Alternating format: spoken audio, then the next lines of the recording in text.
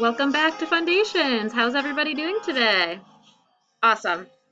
Well, enough of that song. It's good to see you. Let's get started by reviewing all of our vowel sounds. You can say these right along with me or repeat after me. Here we go. A apple a. A safe a. A acorn a. A wash a. A squash a. A Alaska ah. Here we go with E. E ed a. E p e. E me e. Great. Let's try I. I it i. I pine I. I hi I. I animal i. I animal a. E I champion e. O. O octopus ah. O, home o. O no o.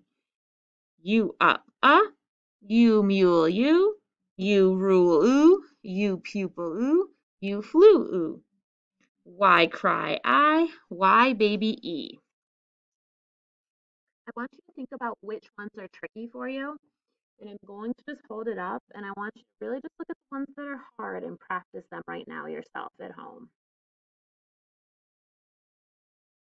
For me, it's the wash, squash. Wa ah and squash. Those are the schwa sounds. Okay, nice job practicing what's hard. Yesterday we talked about prefixes. They come before a base word and they can change the meaning of a word. Let's review. Read these out loud to me. Non, un, trans, miss, x, n, dis, and pre. Dis was the one that we learned yesterday. Who remembers what dis means? Opposite of or not. That is correct. Now, if you have your student notebook, on page 42, you can find common prefixes. This is an important resource. I apologize. Some of you learners don't have these yet. They're coming in. Some things are a little bit behind on their orders, but you will have this resource. So on that prefix page, it shows you all of the prefixes and what they mean. They're organized by being closed syllable prefixes and open syllable prefixes. Okay, this is a syllable frame and this is a one syllable word. What does it say, everyone? Stuck. What does stuck mean? Yeah, it means you're in something and you can't get out of it. Like he was stuck in mud. Or if you're a baseball or softball player, he was stuck or she was stuck in a batting slump. So what if I put a prefix in front of the word stuck? I'm going to put the prefix un. Unstuck is our new word. And when we use the prefix frames, it looks like there's a space here, but I just want to be clear that it is one word. We use these syllable frames so that you can understand it's two syllables, but one word, unstuck. So if you look in your notebook, if you have it, we can find what un means. If you don't have it, it's okay.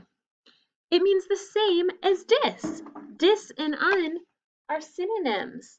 So un means not or opposite of. So this would be not stuck, or the opposite of stuck. Now, can you use unstuck in a sentence? What's that, baby echo? You want to try? Okay. He unstuck the sticker from the page and put it on his shirt. Thank you, Echo. Let me hear you come up with a few sentences with unstuck. I'm listening. Let's try a few more words. Im perfect. What would imperfect mean? Not perfect. I'll admit it, I am imperfect. You'll see me make lots of mistakes together. Okay, let me erase it. See if you can read this word. Here's our prefix And here is our base word. And remember, it's really just one word, prefix, base word. What does it say? Incomplete. What does it mean? Not complete. If you're not sure, you can always look back. In means not. Okay, great. Let's try another one. Prefix, miss, base word, in, wait a second, information does not fit on one syllable. Silly me. I'm going to just write it on the board because information is how many syllables? Information. Four syllables. And I tried to put the whole thing on one syllable.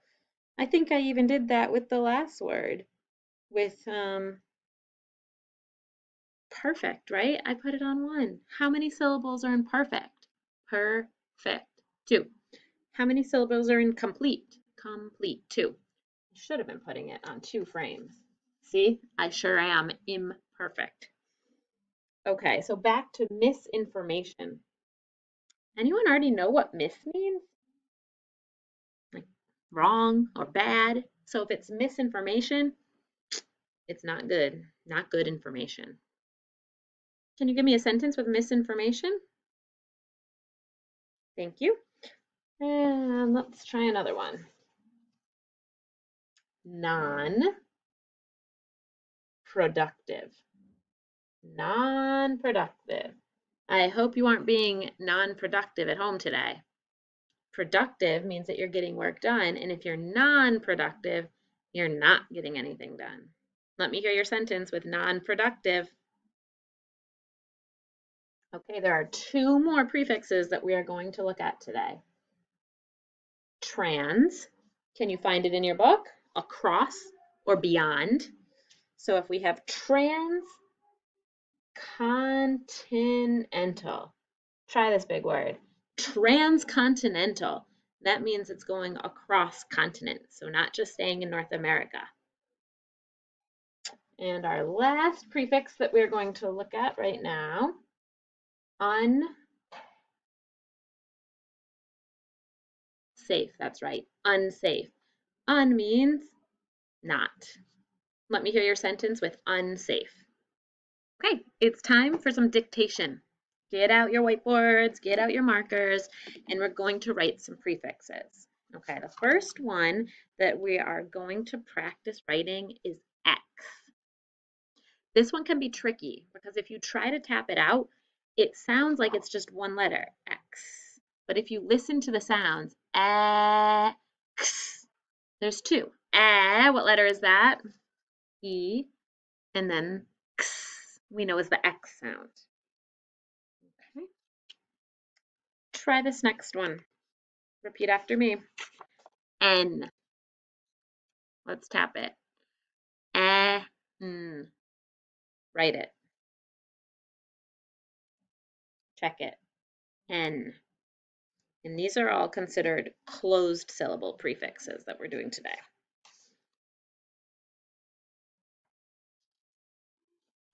Non. Tap it. N, uh, n. Write it. Check it. Un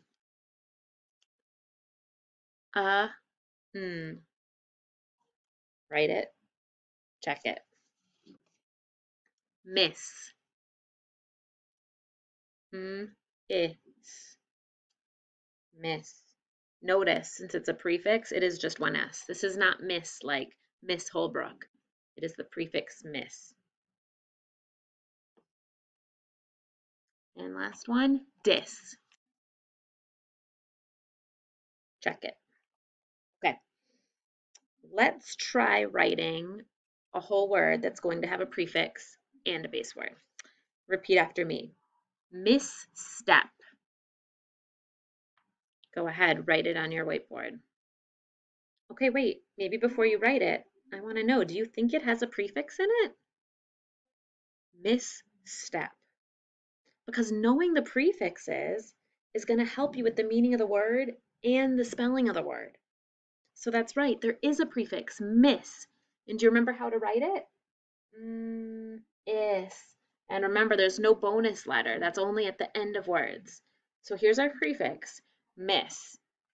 And then what's the other part? Misstep. Misstep. So on your boards at home, when when you're practicing um, words that have prefixes or more than one syllable, these are your syllable boxes to write in. And then we bring the word together down here. So this was our practice. And then to write the whole word, I need to pull it back together. Okay, now we're going to practice marking this two syllable word. We have to scoop the syllables. Miss step. Now it has two S's because one is part of the prefix and one is part of the base word. Okay, let's try some more words. I want you to repeat it, listen to see if it has a prefix, and look in your student notebook page if you need to. That's going to help you remember if it's a prefix or not and help you with the spelling. Okay, here's your first one. Repeat after me. Entrap. Hmm, is there a prefix? N trap. So there's that prefix en. Here's the base word trap. And then we can come down to the lines and put it all together. Let's scoop the syllables. En trap. Okay, I would suggest that you erase. Oh, where'd my eraser go? It's hiding on me. Echo, what did you do with my eraser? Does anybody see my eraser? Hmm, well, good thing we always have a finger. All right, let's erase it and get ready for the next one. You don't have to erase this word here. Repeat after me. Impolite. Impolite. Im, is that a prefix? Check in your notebook. Im, po, light, light. I think the E makes it say I. And then we can put it all together down below.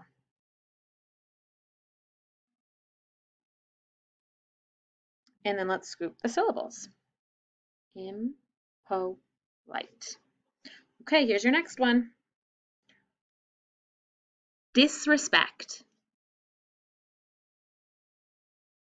Pace out your syllables. Put it together. Dis, re. And then check it with mine. Disrespect. Very nice job. Let's try one more. Non-slip.